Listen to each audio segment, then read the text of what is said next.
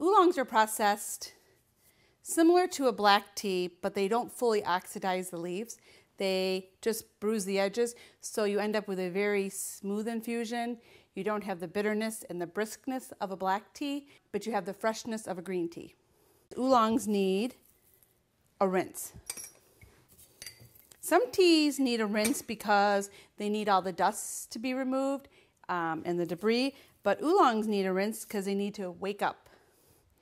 After the first maybe 20 seconds of a steep in a hot water, pitch that water and then go back and add your 170 to 180 degree water, not boiling water like a black, and infuse this for three to four minutes.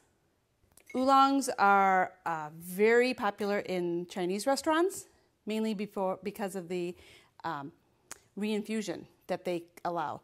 You can take these oolong leaves and probably reinfuse the same pot or cup several times.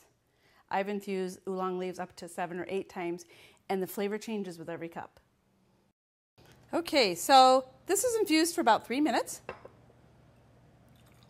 And this is considered a brown oolong obviously by the color. A greener leaf oolong will give you a definitely lighter infusion, but it's definitely not as dark as the black tea, and it's definitely smoother.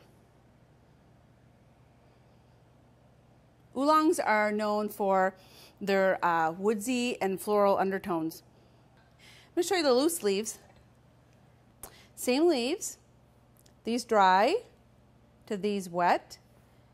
This dense amount expanded to this volume.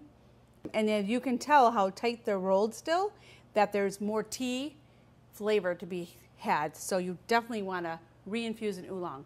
Oolongs are known for their multiple infusions.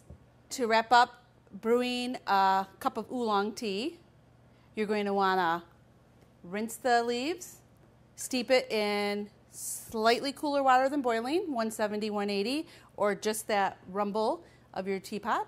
Fuse it for three to four minutes and enjoy your cup because the next time you infuse your oolong leaves, it's going to be a different taste.